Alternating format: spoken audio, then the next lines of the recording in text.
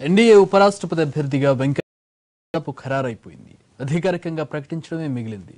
ఈ విషయంలో వ్యూహాత్మకంగా వ్యవహరిస్తున్న బీజేపీ ఇవాళ జరిగే కోర్ కమిటీ సమావేశంలో తుది నిర్ణయం తీసుకోనుంది.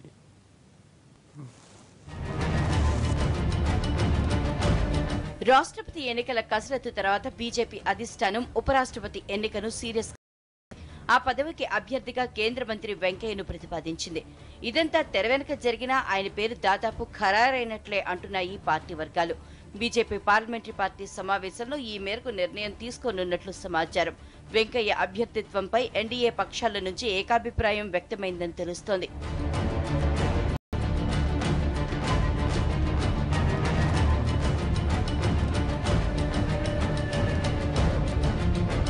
వివాదరహితుడిగా పేరున్న వెంకయ్య అయితే మిగతా పార్టీల నుంచి మద్దతు లభిస్తుందని బీజేపీ నేతలు భావిస్తున్నారు.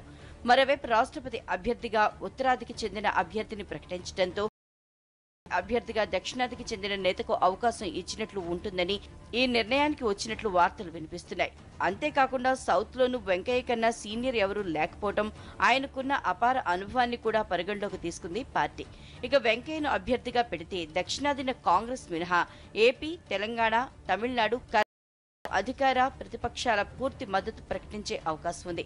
ఇక ఉత్తర భారతదేశంలోనూ పార్టీలన్నీ వెంకయ్యను వ్యతిరేకించే అవకాశం లేదని అధిష్టానం భావిస్తోంది.